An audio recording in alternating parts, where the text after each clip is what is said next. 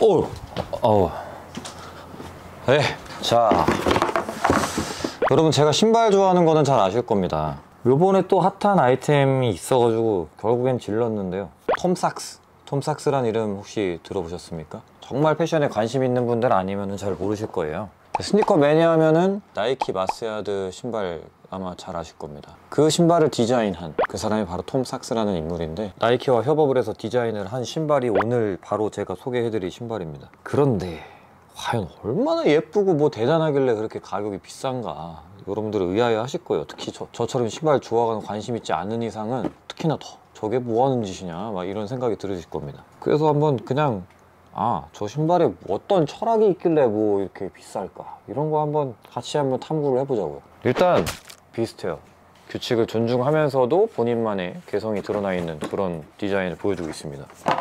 그리고 밑에 보시면 여기 own less 그리고 do more 이렇게 써 있어요. own less, do more 이게 뭔 말이야 대체? 톰삭스의 철학이 분명히 들어가 있는 문구일 텐데 이 캐치프레이즈는 대체 무슨 의미가 있는 걸까요? 저는 저 나름대로 여러분들 아시다시피 나이키의 슬로건은 뭐죠? Just do it이죠. 그러니까 do more라는 거는 어쨌든 just do it의 연장선상에서 더 해라는 뜻인 거야. 그거는 분명한 것 같아요. 요새 패션 트렌드가 전체적으로 이제 환경보호 관련해서 재활용 가능한 또는 환경을 해치지 않는 이런 소재 이런 거에 대한 관심사가 높죠. 그래서 own less 역시도 아마 제 생각에는 그런 거와 또 관련이 있지 않을까도 싶은데 덜 가지고 더 해라. 어쨌든 그런 문구와 함께 신발 이름도요 되게 길고 특이합니다. General Purpose Shoe 일반적인 용도의 신발이다. 와우. 어떤 철학을 갖고 있는지 여러분 대번에 느껴지지 않나요? 그러면 대체 디자인은 어떻길래? 한번 unboxing을 해보자. 음. 와우. 음. 또 있나? 여기 이렇게 문구도 굉장히 장황하게 써 있어요. 뭐 스타워즈 문구 마냥. 음. 어쨌든 리사이클링이라는 말이 딱 나오는 거 봐도 아까 내가 대충 유추한 뜻이 좀 맞지 않나 싶은데 자 일단 신발을 봐보자고 음, 아주 깔끔한 신발이에요 저는 개인적으로 이렇게 gum sole이라 그러죠 이렇게 old school스러운 누리끼리한 요 gum sole을 아주 좋아합니다. 근데 이렇게 바닥을 봐볼게요. outsole을 봐볼게요. 어디서 많이 본 것 같지 않아요? 자 요거랑 또 유사하다고요 살짝. 요걸 이제 와플 이라고 하죠? 예, 그런 정체성을 이제 같이 좀 공유하고 있습니다. 또 디테일을 한번 보면 Swoosh 색깔이 하얀색입니다. 저는 개인적으로는 Swoosh 색깔이 까만색이었으면 어땠을까 이런 생각을 합니다만 걱정 마세요. 얼마 뒤에 다른 색깔 컬러가 나옵니다.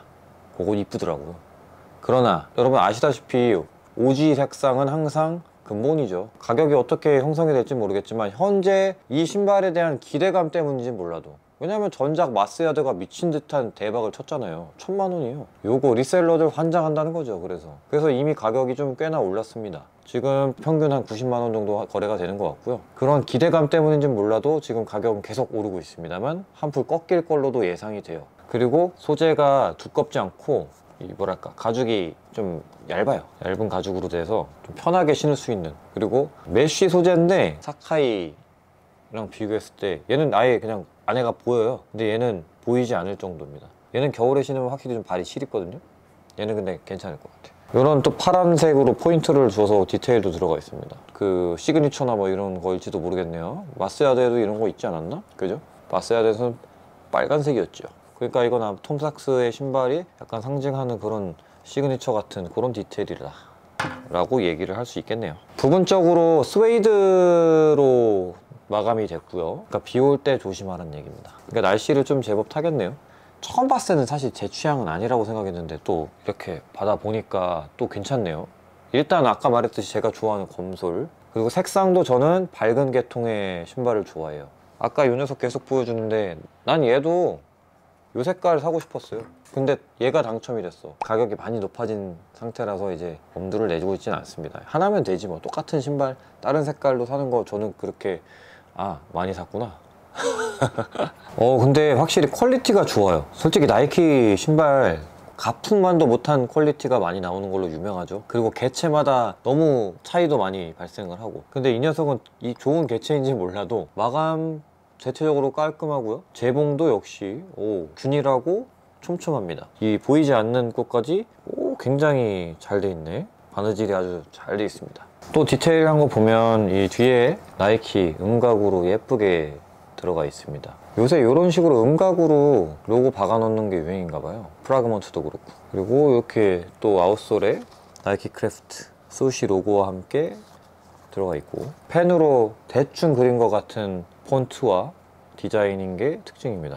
자, 요거 그래서 저는 실착을 할것 같아요. 가격이 더 오를 것 같진 않거든요. 그리고 저는 신발 대부분을 실착을 해요.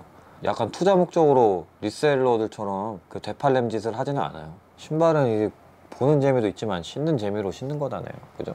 자, 오늘 이렇게 나이키 톰삭스 General Purpose Shoe unboxing 겸 리뷰를 해봤는데요. 저처럼 이제 운동화 신발, 스니커즈에 진심인 분들, 어, 요번 톰삭스 출시 소식 듣고 갈까 말까 고민하셨을 텐데 어떻게 제 리뷰 보고서 결정하시는데 좀 도움이 됐으면 좋겠습니다. 그래서 추천하냐 마냐, 음, 저는 추천. 뭐 가격이 오르고 희귀성이 높고 이런 걸 떠나서 그냥 신발 자체가 예쁩니다. 편하게 daily로 신을 수 있는 그러나 가격 대비 가성비 생각하면 굉장히 좋지는 않네 생각해 보니까. 음. 당첨되신 분들은 실착을 하시고요. resell가로 사서 실착하시는 거는 좀 고민을 해보십시오. 자, 이렇게 처음으로 아니지 두 번째잖아. 저는 두 번째 리뷰지만 첫 번째 리뷰인 것처럼 하는 영상이었습니다. 지금까지 고독한 개츠비였고요. 다음에 만나요. 그리고 지금 제가 구매한 거는 아직 배송 중입니다. 요거는 우리 같이 구매한 우리 PD 형 겁니다. PD 형의 와이프 형수 겁니다. 그래서 좀 작죠. 근데 저는 요거 확실히 남자 사이즈는 좀 크게 입어서 꽉끈 하는 게 이쁠 것 같기도 해요. 대부분의 신발이 좀 꽉끈해야 이쁘잖아요, 나이키는. 어쨌든 여성, 여성 사이즈인 것만 좀 감안을 해주시고 보시면 되겠습니다.